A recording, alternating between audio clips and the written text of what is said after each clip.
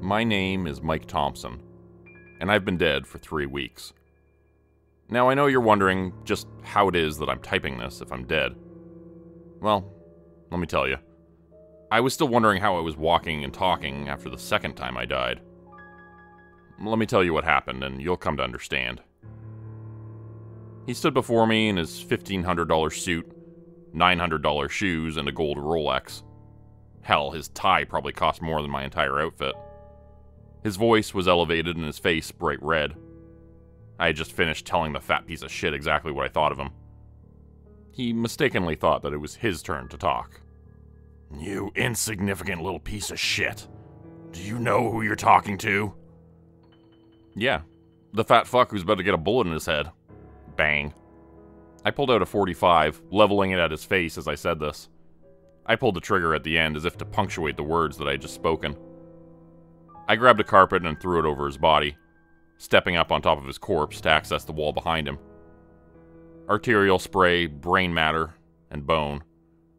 These things were just some of the added decor that was now adorning the wall I was approaching.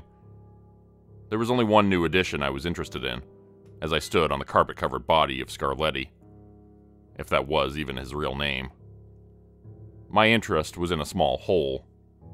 I put away my gun and retrieved my knife. Plunging it into the wall like a slasher film villain attacking his prey, I extracted what I was looking for the slug which had entered the wall after taking a trip through Scarletti's skull. I was even more pissed now. It wasn't that killing that prick hadn't felt good. In fact, it felt great. I would have loved to have done it 20 more times. No. What pissed me off was the expression on his face. That cocksucker didn't even recognize me. As he stared down the barrel of my 45, the look on his face wasn't the one of horror this warranted. It wasn't fear or terror. It certainly wasn't recognition. It was an indignant look that said, You can't do that. I'm too important. No one would ever, could ever, even consider killing him. In Scarletti's defense, no one in their right mind would ever try this. He was, after all, a protected species. This wannabe mobster and self proclaimed mob boss worked for a very dangerous group. One who would, without a doubt, be coming after me for this transgression. The problem was, I didn't give a shit. He had been there. He had given the order. He had watched the whole thing. He had watched his men kill my wife and children at his request. He had likewise watched them kill me. Yet he showed no signs of recognition. He had no goddamn idea who I was. Next time, look at a man before you murder his family, I spat. As much as I would like to hang around and play soccer with his severed head, they would be coming for me soon. It was time to move. The three that were coming for me would eventually know that I pulled the trigger. That's if they didn't already. They would be enraged by the loss of their puppet, which is all he really was. They pulled his strings and he danced. They had put a lot of time into him, however. They molded him into the front man for all their racketeering. Should the guillotine fall, it would have been his head on the chopping block. He wouldn't have dimmed them out if he had to, though. No, he feared a fate at their hands far worse than prison. Besides, they wouldn't have allowed it, and they were powerful enough not to allow it. He had been there to squeeze everything out of life they desired without getting their hands dirty. Not that they minded getting their hands dirty, but they preferred to do that type of thing out of sport rather than necessity. These three could easily have been mistaken for demons. I can promise you they were not from hell. I seriously doubt Satan himself would have wanted anything to do with these self righteous assholes. Some would think them vampires. Yes, they were pretentious, self important, and arrogant, but they did not drink blood to survive. They drank it because they got some perverse pleasure out of it. They feasted on human flesh, but they were not zombies or cannibals. To be called cannibals for dining on human flesh would insinuate that they themselves were human, which these three certainly were not. What they were, I have yet to find a name for. They can take on a human appearance, but their true form is much more horrific than that. As for how they would know I did it, they just had a way of knowing things. When they went after someone, their decisions had a certain finality. My family, the victims of murder, and being dead myself, I could care less about their wrath. I had nothing to lose. And if it was within my power, I would end these creatures. Unfortunately, I hadn't planned this far. When I woke up in the morgue, having knowledge of Scarletti's responsibilities for the murder of my family, I did the first thing that came to mind. Actually, I found some clothes that fit me, then I did the first thing that popped into my mind. I went home, grabbed my 45, and paid a visit to Scarletti. Next thing you know, something popped into his mind, quite literally. With that complete, I was pretty much winging it at this point. I had to find a way to kill these things. Fire. Yes, fire had to be the answer. Fire killed anything. Well, not ghosts, but okay, and maybe not demons, and well, okay, fi- fire killed most things. So I would try fire first. Now to track these bastards down. The funny thing is, I suddenly knew exactly where they were. Just like I didn't know how I was alive again without any sign of injury after taking a bullet to the head. And just like I didn't know how I knew where to find Scarletti, I didn't know how I knew where these three were. I just did. And now I was going after them. If only I was that sure of how to kill them. The first one went wildly wrong. I had made a Molotov cocktail even though I had no idea what I was doing. I was, however, confident it would work. Like I said, I was winging it at this point. I watched as he pulled out of the massive gate that led to an even more massive estate. I kept my distance, working things out when I noticed he had his windows down. I sped up and pulled alongside him. When we came to a red light, I lit the makeshift firebomb and chucked it through his passenger side window. The car went up in flames and I drove away laughing like a madman. One and done, I thought. That was before I saw a flaming car pulled up next to me. Son of a. That's as far as I got before I heard gunfire erupt and everything went dark. I woke up and thought I had gone blind, at least until I tried to sit up. I slammed my forehead into a metal ceiling that was way too close to my face. I felt around and realized I was in a cold metal box. I recognized where I was and let out a sigh. Well, shit. I was back in the morgue. I worked my way out and stood up naked and shaking. As I looked to my left, I saw a man in a long white coat holding a clipboard. He just stood there staring at me. Uh, fraternity prank. Sorry, was all I could come up with before I turned and walked out of the room. Once again, I found some clothes, but this time someone saw me first. The police were called, security was alerted, and there was an uproar about the naked man running around the hospital. After I got dressed, I was able to skirt security and got out before the police arrived. Well, that plan ended splendidly well, I told myself as I strolled down the street contemplating my next move. The first thing I needed to do was get mobile again. Praying that my credit cards hadn't been canceled, I headed to the nearest rental car lot. Luckily, the banks had yet to receive news of my untimely demise. Knowing that my luck might not hold out, I withdrew as much as I could from all accounts and scheduled a rather large withdrawal for the majority of the balance at the earliest available time. Unfortunately, your standard bank doesn't usually do same day requests for hundreds of thousands of dollars. I even maxed out the cash withdrawals amounts on all my credit cards. I figured they couldn't do much to me since I was already dead. Come to think of it, I died twice already. Suddenly, I had an overwhelming urge to see the look on the investigators' faces the confusion when they discovered that the corpse of the gunshot victim they had pulled out of the wrecked car was also the missing corpse of the gunshot victim in another case. And, wait for it, the corpse was missing again. I had to pull the car over. I was laughing so hard I had tears running down my face. Yeah, who knew being dead could be so entertaining? Wait till I tell. The thought trailed off abruptly, overcome by another. This time the tears were not brought on by a fit of laughter. Would I ever get to tell my wife anything again? Would I see her in the afterlife? Would there even be an afterlife for whatever it is that I'd become? God, how I missed her and the girls. A father was supposed to protect his family, and I had failed them. The sadness turned to anger. The anger turned to rage. I sat there on the side of the road, the events of that night replaying in my mind. We had gone out to a movie.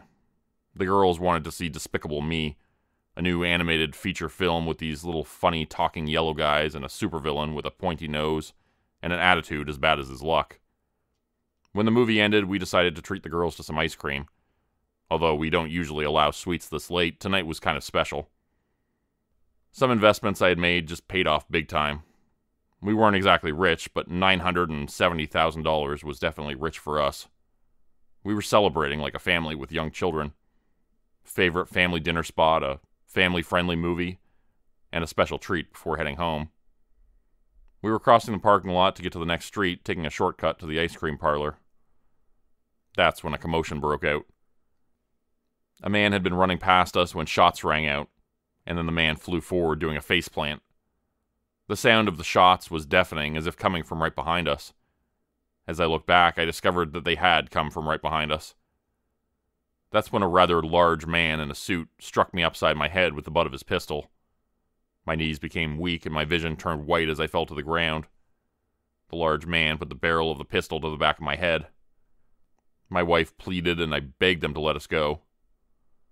A man with a voice like a weasel spoke up. I would come to know him as Scarletti. I'm afraid you've seen too much. But we really didn't see anything, I said. He looked me dead in the eye and simply said, Kill them. Before I could react, two men stepped forward and began executing my family. I jumped forward, trying to save them, and then the man behind me pulled the trigger.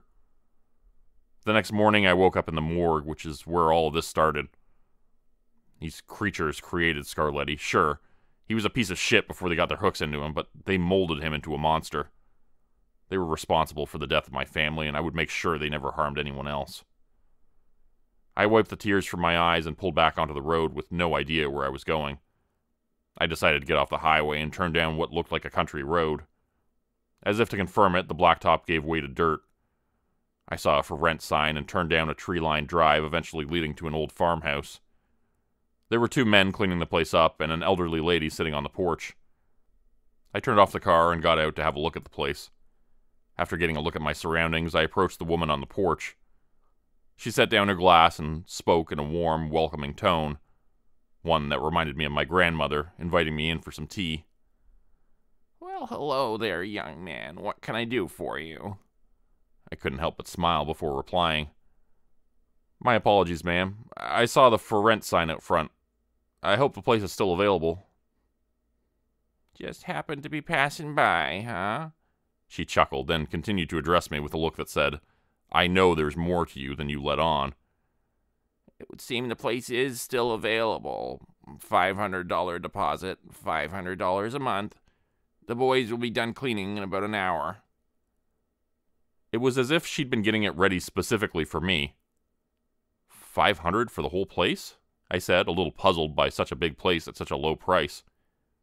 Yeah, figure you'll be doing good work. God's work. Don't worry, no one will find you here. Why do you look so surprised, Mr. Thompson?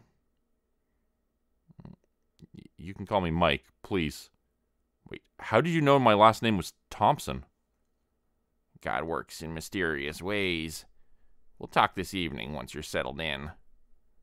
She tipped me a sly wink, and I somehow knew I could trust her. Still, I couldn't shake the confused state of disbelief, which is odd to say the least. After all, I had died twice, and here I was. I cautiously approached my house after circling the block a few times. I'm not even sure what I was expecting, there were so many scenarios popping up in my head. Evidently, neither the police nor the bad guys felt the need to stake out my house. I could have just purchased new stuff, which I was still going to anyway. But there were things here that couldn't be purchased. I collected a few pictures and some personal items. I fought the urge to grab my laptop and important documents. The laptop was registered to me, and the documents, well, I was dead, so what was the point? The pictures, though, I just couldn't let them go. I had risked everything to come here for them. Deciding I had already been here too long, I dropped half the stuff I'd collected and took only a handful of items that I felt I must have. I checked the best I could to make sure the coast was clear, then headed back to the rental car. I hadn't seen anyone, not even a neighbor. Probably a good thing. I didn't know if the neighbors knew I was dead. I imagine the slaying of my family was on the news, where no good tragedy goes to waste. I pulled away from the curb and headed off to do some shopping. By the time I was done and had returned to my new living arrangements, it was still light out. That would not last long, though, and I was expecting company. I hurried in, put stuff away, and started the shower. I felt a lot better having a shower, a shave, and some clean clothes. I needed to relax and let my mind clear. After that debacle with the firebomb, I realized I was going about this all wrong. I had been in a hurry with no real plan. If I was going to defeat these guys, I needed to calm down and get focused. The elderly woman, whose name evidently was Tabitha Rose McKinney, walked in shortly after dark and headed straight to the kitchen. I attempted to rise from my chair when she entered, but she quickly gestured for me to remain seated. I don't know why, but I obeyed. When she returned from the kitchen 15 minutes later, she had a plate full of fresh, gooey chocolate chip cookies and some hot tea, which she proclaimed to be Irish breakfast tea. This woman wasted no time, and she certainly got around well enough. But she had to be at least in her 80s. Turns out she was a bit older than that. I admonished myself for not getting her name earlier, and as if reading my mind, she introduced herself and then began speaking. I know this is a lot to take in. Truth be told, you haven't even tried. You've been solely focused on revenge. If you're gonna do this, you need to do it to protect the world from these monsters. God has given you another chance, and with it some gifts. I know it doesn't feel much like a second chance without your family, but you'll come to understand in time. Gifts? I questioned. Yes, like knowing certain things and coming back when they kill you. Although I'm sure you would rather stay dead, missing your family and all. Life needs balance, and so does the afterlife. These abominations destroy both.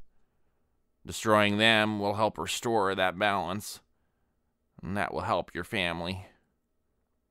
How does that help my family? They're dead, I said, a little more sharply than I meant. I apologize, ma'am. Now, now, there's no need for apologies.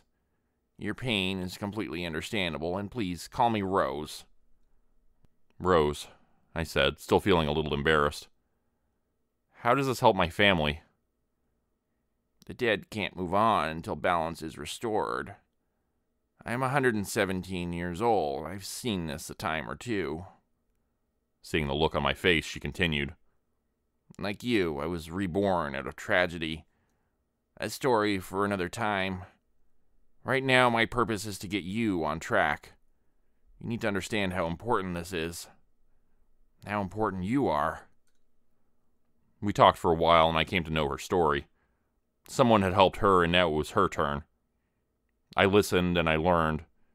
While different beings from different places come to be here when they shouldn't, it throws our world out of balance. When this happens, someone is chosen to restore that balance. These beings are not always the same, and they don't always come from the same places. She couldn't tell me how to kill them or send them back because they were not the same as what she faced, and didn't know where they came from. Figuring that out was my job. I also found out that her time was almost up. With me here, she had to go. All part of restoring the damn balance. I found myself already mourning the loss of someone I had just met, who wasn't even gone yet. Although, like me, she had already died, and like me, she was still here. You're not scared? Knowing you're gonna die soon, I mean? The balance is important. Besides, I died a long time ago, and I've been ready to move on for a while now. When you've been around this long, you find yourself in a world that no longer makes any sense to you. I'm also hoping to see the people I've missed for so many years. So, we do get to see them again? Well, that's what I believe. And I've seen enough to suggest it's true. Not all is revealed to us in this life. Faith is often our strongest weapon and our greatest savior. If we knew, it wouldn't be faith, would it? I pondered this for a moment before I spoke again. I guess I don't have to agree with it to believe it. That's the spirit, she said with a grin. So, fire doesn't work, bullets probably don't either. What then in the hell am I supposed to do? Rose had given me a list of things that were known to work in the past, but none of these could end up working on these three. There were silver, glass, salt, amoxicillin, carbon dioxide, hydrogen sulfide, cat saliva, and I shit you not, surfboard wax. Some of these would kill anybody, while others were so ridiculous I thought she was having a go at me. There were more on the list, including fire. I'm not trying that again. I decided I needed to trap one so I could try different things, but I didn't even know if I could trap one.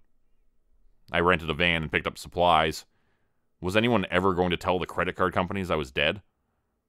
After that, I staked out the mansion belonging to the one I tried to get to before. When he left, I broke in and went to work. I set up all the different items I planned on trying and got a steel cage set up through the door of the bedroom. Now I just had to wait, and when he got there, lure him into the trap. I briefly wondered if I should have hidden an extra set of clothes at the morgue. Then I wondered who the weirdo was that decorated this place. There were sculptures of random body parts one of an arm, another of a leg. There was a three foot tall ear, and the largest was a six foot tall sculpture of a nose. The walls were gold paisley, and one room had a purple shag carpet. Maybe he bought this place from a 1970s pimp, I thought, shaking my head. I wandered over to sit where I had a view of the front door. I pulled out a 357 revolver and set it on my lap. If this didn't kill him, it was really going to piss him off. Have you ever tried to get stains out of a shag carpet? Hours went by, and I caught myself nodding off a couple times. Then I heard the key slide into the lock of the front door, and I was wide awake again. I stood and aimed for the door, attempting to control my breathing. When the door swung open, he didn't even notice me right away. That's good, I thought. Keep coming closer. He finally looked my way, and I saw recognition on his face. At least this guy remembered me. He started ranting. You. You set my car on fire. I really liked. I didn't let him finish. Rude, I know, but I had to act before he realized what was coming. The first round just missed his head, tearing an ear off, but the next two went straight through his face.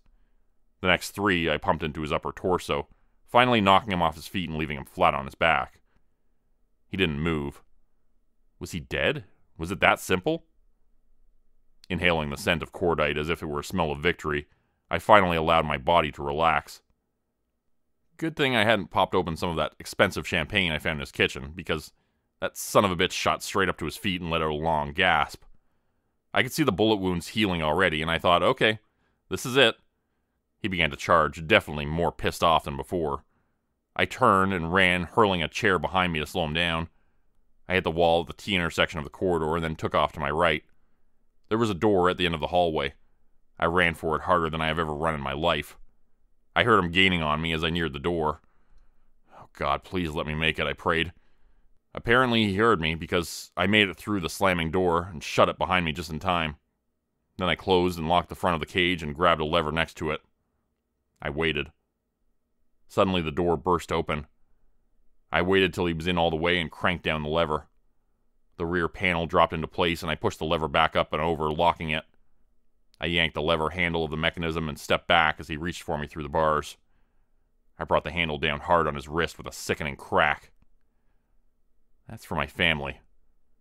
And I'm far from done with you. He howled in pain and hurled expletives at me. You think that's bad? Try this. I had nothing, but I was angry and on a roll, so I grabbed the closest thing from the table I'd set up and ended up blasting him in the face with a handful of salt. Ah, it burns, he cried out. Oh, good, it's working. You're done for, I shouted with maniacal laughter as I reached for more salt. What's working? You thought salt in my eye, you idiot. Oh, um, I thought. What, you'd kill me with salt? Well, try this on for size. I had an electric warmer set up on the table and I grabbed the pan off of it. When he saw it coming, I flung its contents at him. The hell? What is this, hot wax? Hot surfboard wax, actually. Hmm, still nothing. Hmm. Well, it's a bit kinky if that's what you're going for. He snickered. I had left a cup of coffee half drunk on the table and found myself desperately needing some. It was cold, but it was coffee, and it wasn't like I could get out of the room with the cage blocking the door. I took a sip as he started speaking again. This time his tone was much softer. Long day, I feel ya. Listen, maybe we got off on the wrong foot. We seem to have an opening for a position recently vacated by that slimeball Scarletti. He actually did me a favor. I never liked that guy. So how about this? You let me out of here and I make you director of operations. Great pay, excellent benefits. Hell, you could have a place like this. You could have anything you want. I'd had enough and finally turned to face him. What I planned to say was something like, What I want is my family back, can you give me that? And hurling something else at him. What ended up happening is me tripping over the pan that was now lying on the floor. My half empty coffee cup flew out of my hands and struck the bar of the cage, causing it to shatter. The coffee splashed across his face. What came next left me stunned for a moment. Oh shit, that burns. What was that? It's just coffee. Next thing I knew, he dropped to the floor, writhing in pain, the skin on his face melting away. I ran to the window, opened it, and climbed out. I quickly ran to the van and grabbed my thermos. I got to the window, climbed in, falling to the floor rather clumsily. When I reached the cage, he was still holding his face, a stream of obscenities escaping his mouth. Here, hold still, let me rinse you off, I said, pouring the entire thermos on him. The screaming came louder this time as the skin melted away from his head. The skin dripped to the floor like wax until I could see his skull. He gagged, his breath hitching in his chest, and then became still. The odor of melting flesh smelled like a body that had been decaying for a week. I had to pull my shirt up over my nose, but it did no good. I finally couldn't take it anymore and retched on the floor, falling to my knees. His grotesque death brought none of the satisfaction I had envisioned, but it meant one less monster in the world. I buried his body in his own backyard. It seemed like the prudent thing to do at the time. I cleaned up the mess, stopping a few times to dry heave. To be honest, I don't think the smell is going away anytime soon. I put everything back in the van and floored it out of there, putting as much distance between me and that house as possible. Now that I was on the road, I had a lot of planning to do, but I also needed rest. Unfortunately, resting might give the other two time I couldn't afford to give them. It was going to be a long night. I finally found a fire extinguisher, the type you could fill up and pressurize yourself. I purchased two of the biggest coffee makers I could find and around 50 pounds of coffee. Returning to the house, I saw Rose sitting on the porch. I waved and began unloading the supplies. That's a lot of coffee. Are you pulling an all nighter? She said with a smile that I now found comforting. Probably, but that's not what the coffee's for. She gave me a puzzled look for a moment, then something in her eyes changed. She had put the pieces together. Don't tell me. Yep, I'm going to caffeinate them. I shot her a grin, then went inside. Following me in, she had to ask, How in the world did you figure that one out? I tripped and spilled my coffee on one of them. We looked at each other for a moment, then burst out laughing. It felt good to laugh again, and I promised myself if I survived, I would do it more often. Do you have enough coffee filters? Shit, I said, putting my head down and a hand over my face. She started laughing again. She tried to say something, but she was laughing too hard. Finally, she just pointed at a cupboard. I opened it to find a brand new pack of filters. I got to work, and when the first pot was done, I poured us both a cup and joined her on the porch. Of all the damn luck. You know, it took me almost three weeks to find out how to stop the one I faced. It was charcoal that did it in the end, in case you were wondering. I don't think I would have lasted three weeks, I responded quietly. We just sat there sipping our coffee and staring out at the evening sky. We'd been sitting there for an hour when I finally spoke again. Not sure what response I was expecting, I told her my plan. One of them has a meeting tomorrow. He'll be parked in an underground car park. I think I'll wait for him to show up there and hopefully catch him by surprise. Let's hope that you do, was all that she said, still staring out into the distance from the porch. I'm not sure if she was seeing the stars in the sky or something else completely. She sighed, and a sad look fell upon her face. What's going on? I asked. Just hoping you're going to get through this okay. Also, partly because I'm going to miss this place. But mostly I'm worried about you. I'm leaving you the farm. She said this last as if saying hello in passing. What? Really? Why? Well, I can't take it with me. The smile brightened her face once more as she spoke. I don't know what to say. Say you'll use it for good, that you'll continue the fight. Of course. I mean, I'm dead, but I can't die, so I really don't have much else to do. It was my turn to smile this time. God help us, she laughed before continuing. At least I know the world will be in good hands when I'm gone. Why do you have to go? It's just the way it works. When a new one takes over, it'll be your job to assist them. When they're good on their own, it's time for you to move on. It's all part of the balance. What if I'm not okay? You'll be fine, she said, laughing once again. It was a sound I knew I would miss, so I changed the subject. I'm going after the second one tomorrow, but something's been bothering me. Everyone who's heard of these guys has told me they know things. They know things they can't know. They know when things are going to happen. Yet the first one didn't see me coming. She thought about it for a moment, then shrugged her shoulders. Maybe it's bullshit. I guess we'll find out, I said, getting up and heading for the van. I looked back at her one more time and saw her wink and smile. She had told me I would be fine. She also told me to be prepared for anything. For the sake of being prepared, I made one more modification to the coffee sprayer, then dropped off the van and picked up a new car rental. When I got to the parking structure, I pulled in and found a space.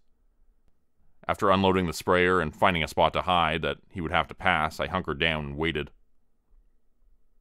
If he knew I was here, I would be trapped. It was a typical underground parking garage, poorly lit with a musty, almost moldy smell. I was kneeling down between the two vehicles nearest the elevator and stairwell. Unless he walked all the way back up the ramp, he would have to pass by me, going to either the elevator or the stairs.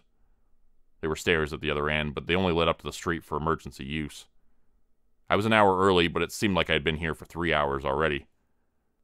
Checking the time on my cell phone proved I had been there for only 52 minutes. My legs were getting stiff from kneeling down, and I was considering standing up for a stretch when I heard a car coming.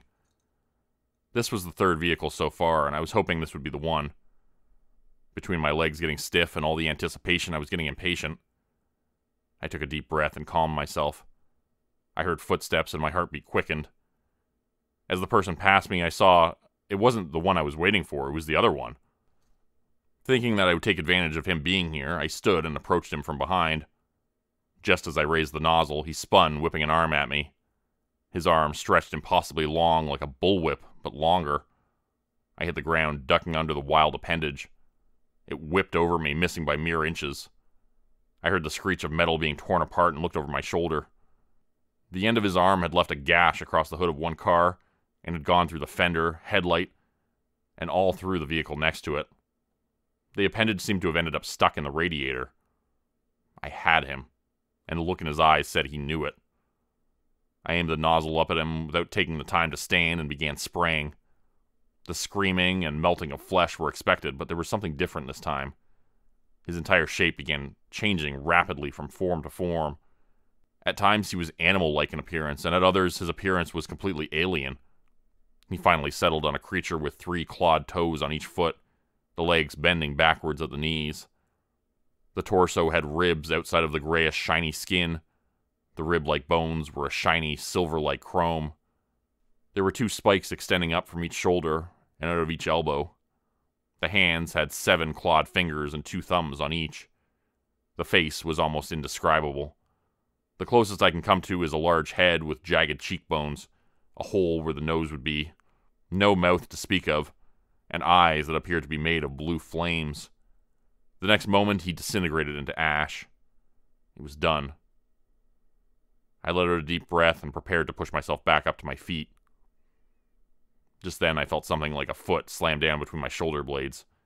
The spray nozzle ended up above my head, and my arms were down at my sides. I had over half a tank left, but there was no way I could get to the wand to spray him, and I didn't even know yet if it was one of them. I immediately started feeling around for a button that I installed on the bottom of the tank. The person with the foot on my back finally spoke. Thank you. I was confused and could only think of asking, for what? Which came out in a strained squeak. For getting rid of my brothers before they finished developing their powers. It would have proved much more difficult then. I needed to stall till I could reach the button. So they didn't know I was coming, but you did? I was almost there. That's right, he responded smugly. And you didn't warn them? I continued stalling. Now, why would I do that? He chuckled. My finger was on the button. They were your brothers. He pressed harder on my back, making it almost impossible to breathe, then responded, I was tired of sharing. I had attached a small explosive device to the tank for an emergency, and now my finger was on the button that would detonate it. This otherworldly idiot was standing on my back, slowly suffocating me. Darkness was encroaching on my vision. I knew I didn't have long. I figured this was it. And if I was going, I was taking this jackass with me. You let me kill your brothers out of greed? I wheezed. Actually, yes, he said arrogantly. You know, you're a dick. I pushed the button, splattering him with coffee, and I'm quite sure gore. We both exploded in a combination of blood and coffee, ending the last of these evil pricks. As for me, I died with a smile on my face. Okay, that's it for tonight's story. I hope everybody enjoyed. This story was written by Deimos in the Dark. That's D E I M O S. And uh, there's a new book out by this author. It's titled Welcome to the Dark, a horror story anthology, and you can pick it up on Amazon. I'll include a link in the description below. So I hope you'll check out their work and support the author. Thanks everybody for listening.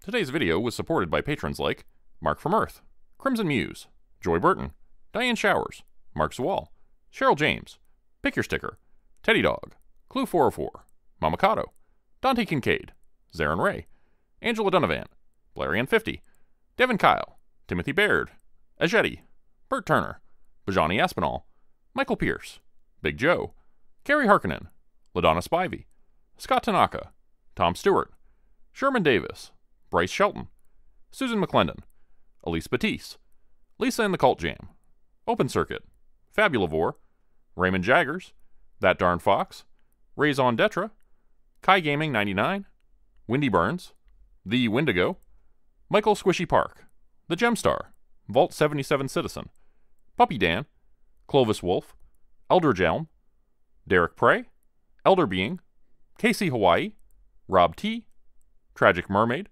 Darren Fishnaller, Clove Zenoya Harris, Roe Underwood, and Florida Man Luke. If you'd like to help support the channel, please consider joining my Patreon page at patreon.com forward slash Jordan Grupe Horror. As a patron, you'll get access to bonus videos, a Discord channel, and content. You'll be credited at the end of every video going forward. And if you decide to stay for three months, I'll name a character after you which will be featured in the next Hollow's End story. Links to join the Patreon are in the description. Thanks everyone for listening. Please like, subscribe, and comment to help the channel continue to grow. It really does help out a lot. And see you again next time at 4 p.m. Eastern Standard Time. Hope you have a great night.